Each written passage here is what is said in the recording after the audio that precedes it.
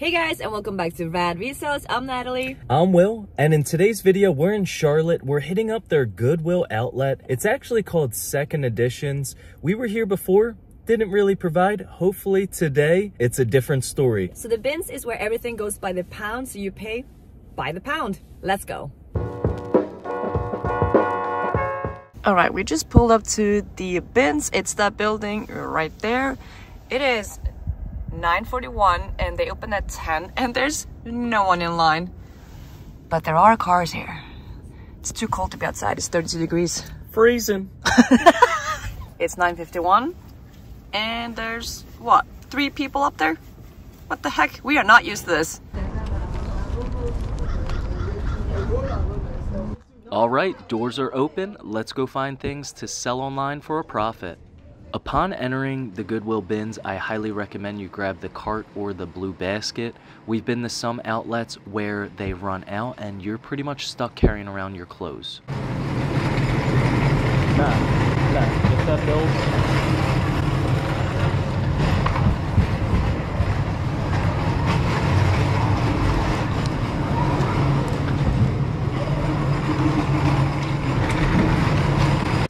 So Will eagle-eyed this Buffalo Bills sweatshirt from across the other bin. Now if you can find the vintage ones, they are really good money. Buffalo Bills is one of the best NFL brands to pick up in terms of value.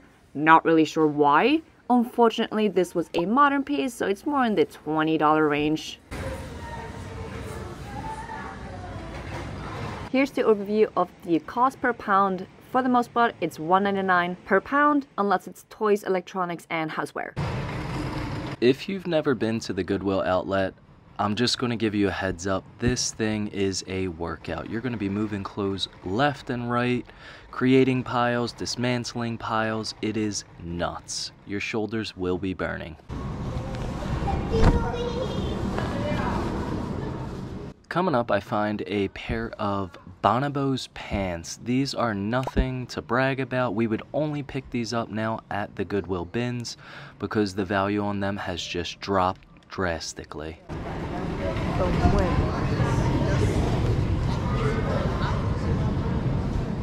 These bins are huge, so I actually got to make a stretch for these polo jeans.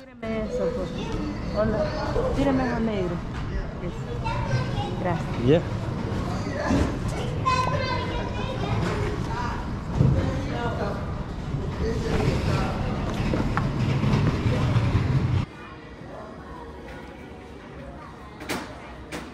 So I just found this super soft sweater by American Eagle and it's cropped.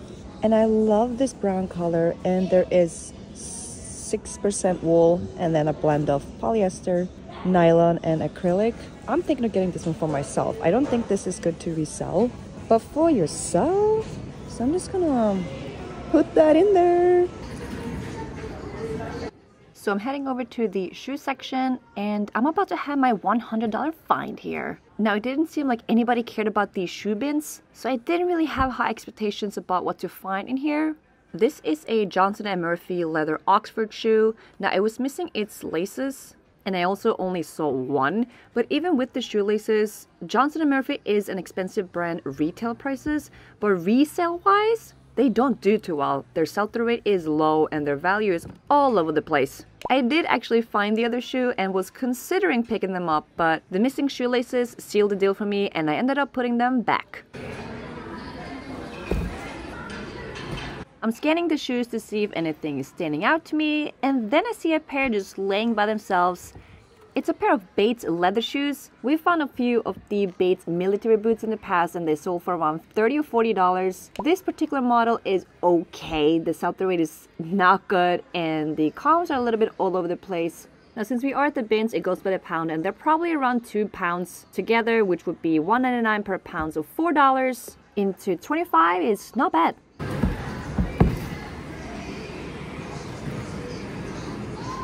The next shoe brand that I'm about to find is a major shoe ball brand. Definitely memorize this logo.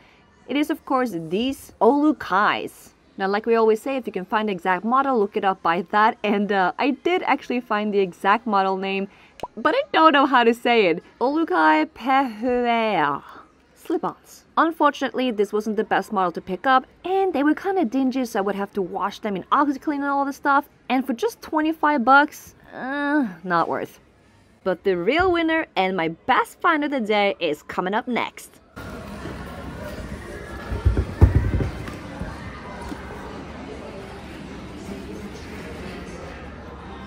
This is another shoe brand to be on the lookout for. They are called Allen Edmonds and this particular model is called the Andover. It's a pair of leather lace-up boots and the black ones are selling for over a hundred dollars. I was honestly not expecting that and the condition was actually really good. Not a lot of treading on the bottom and just some regular wear marks. I was shocked these were still here.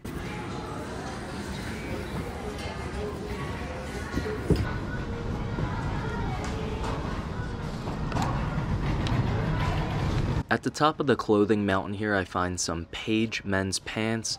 We've sold an identical pair for $30 on Poshmark. This brand is definitely not an automatic pickup, so be sure to check the comps. I would say about 97% of the items at the Goodwill outlets is not resellable, but this pink Nike athletic top would have been super cute for some girl. Here I find something that we will resell. The mountain khakis, these consistently get us about 25 to $30 a pop. Easy pickup here.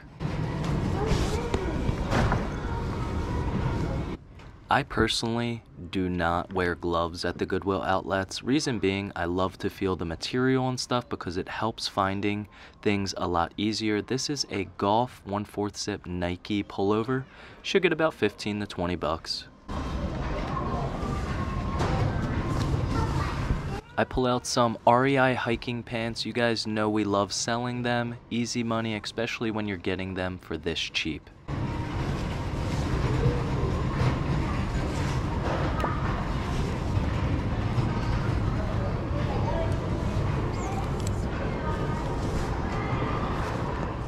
This brand really caught me by surprise. It's TravelSmith. Now, I've seen these plenty of times, but this is the first time I've seen it new with tags. We picked it up and sold it for $25 plus shipping. I wouldn't say this is a brand to be on the lookout for. The Nuit tags really saved it.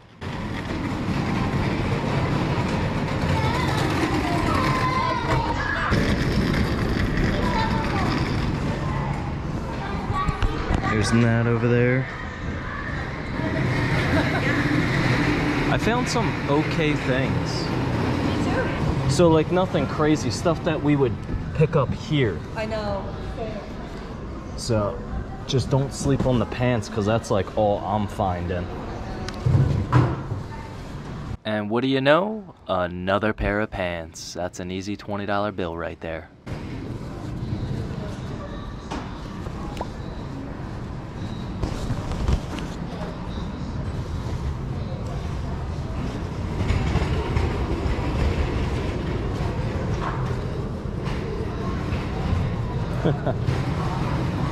This is Nat's new favorite brand to pick up when we get it for cheap.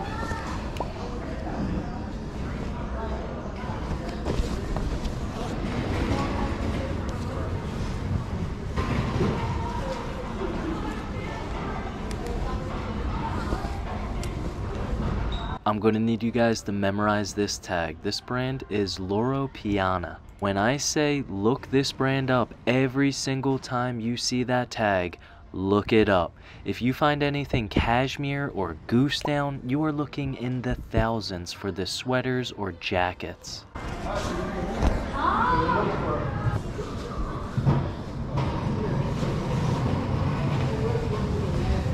And to add to the pants magic, we got another pair of Bonobos. This brand cracks me up because they put the day that you should wear these. These are the Monday pants. Guys, if you have any information on this white label Ralph Ralph Lauren, please let me know. I did have to leave these behind because I did see some skid marks on the inside.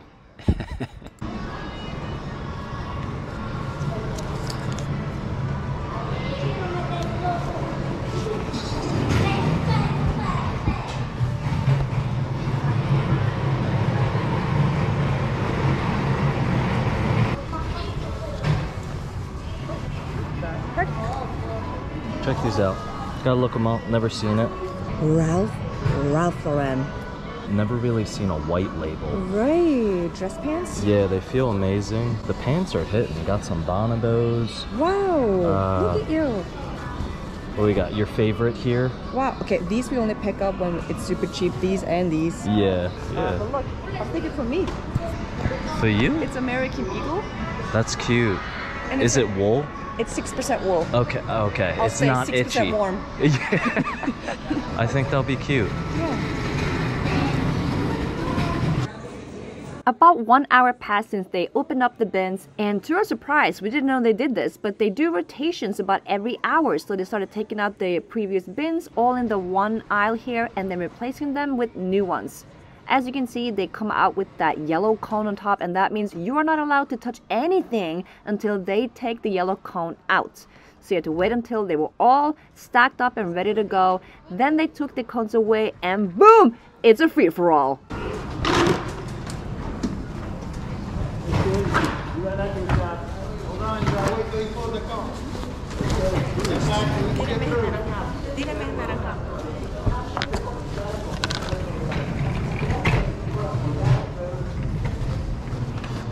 I'm sorry. It's okay. Uh-huh.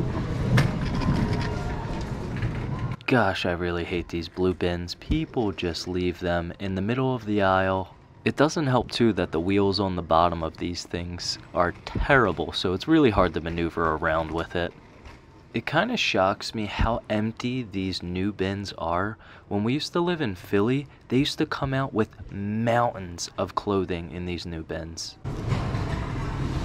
As you can see, almost everyone is taking advantage of the new bins that just came out. Some people get ticked off when people are throwing clothes around, but I don't mind. Thank you for the brand new It Tags Levi shorts, buddy.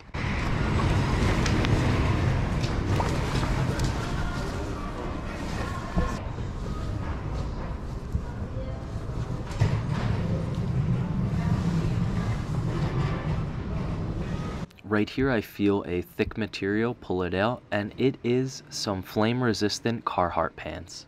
When you see the FR on other brands and everything, be sure to look them up. Typically it's always a pickup.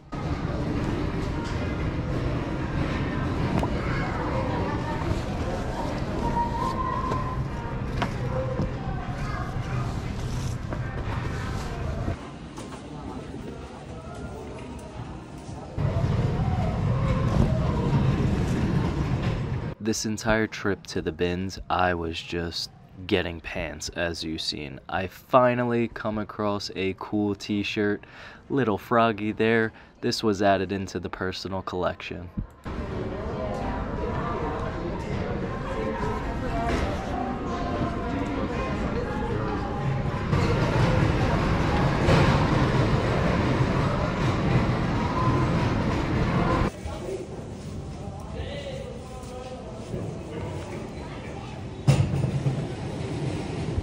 Here's a bread and butter item. It's a pair of Nike basketball track pants. All Nike track pants and sweatpants are worth the pickup.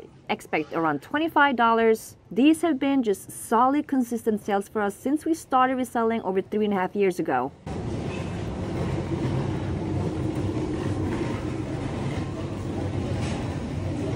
If you enjoy our content, go ahead and click that thumbs up and subscribe button so you don't miss out on future videos.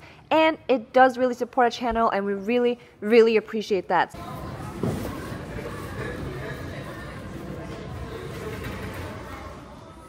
My next find was this pair of Athleta pants. They seem like a pair of hiking pants. Didn't even know they made that. I wouldn't call this a bolo brand as you gotta be very specific with what you pick up.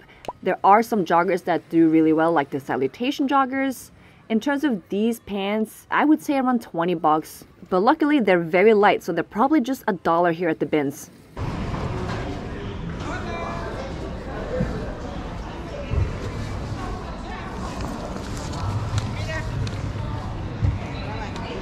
As usual, be sure to be thorough when checking your items before you take them home.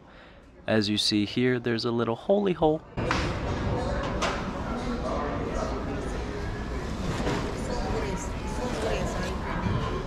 So I keep digging into these bins. You know, you gotta get to the bottom of each and every bin. It's a lot of work. But I come across these Nike sweatpants, another bread and butter item, $25. Uh, it's a size XS, so maybe 20 25 If these were bigger, I probably would have kept these for myself. I like that they had the little embroidered fly and swoosh on the hip and they had the cuffed bottoms. Automatic pickup here. Here I was going to show Will for the first time what I found at the new bins that came out. We have a pair of Adidas shorts here, but unfortunately as you turn them around, I spotted that it had multiple stains on the back, so we're going to put them back, but they would have been an easy 15-20 bucks. Next up was a pair of LL Bean khaki pants. These should also be around maybe $18 here.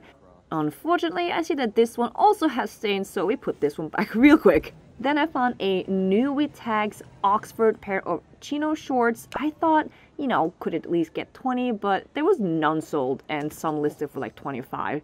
But the real kicker here was a pair of True Religion swim trunks. I mean, how cool are these colors? The more the merrier. Should be 25, 30. Then we have a pair of FootJoy shorts. Summer is coming up, so should be an easy 20. And last but not least, we have a little golf bowler brand here. It's called J. Lindeberg, and these are a pair of tan golf shorts and should also be another 20 bucks. I spotted that, oh. and I'm like, snag. Oh, okay, that's it. That's what I got. Nice. so after going through everything, this is actually all we're ending up with. Wah, wah. Still a decent haul though. Like there's a lot of items here. So let's go see what they weigh and what it will cost.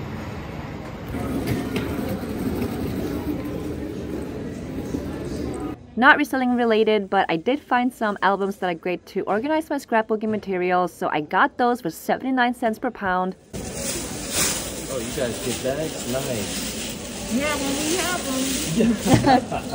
they grow very quickly. I'm sure. We had a total of 14 pounds of clothes and shoes. So that was 14 pounds of clothes. Yeah. Thank you. Oh, you're welcome. Alright guys, that was our binge trip. That went way better than our expectations.